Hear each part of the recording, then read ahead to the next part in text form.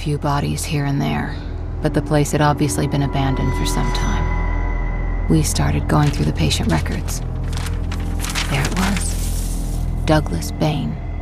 DOA. Cause of death unknown. Body transferred without autopsy to Grim Lake Cemetery, Site 3B, by order of National Biohazard Containment Unit.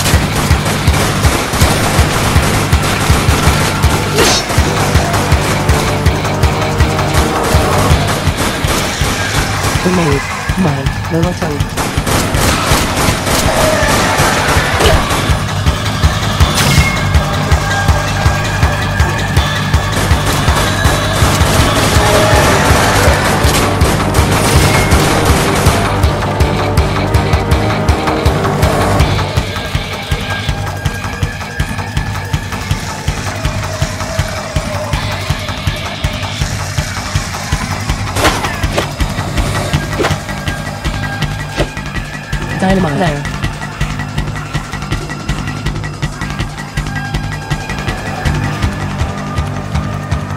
Dynamite.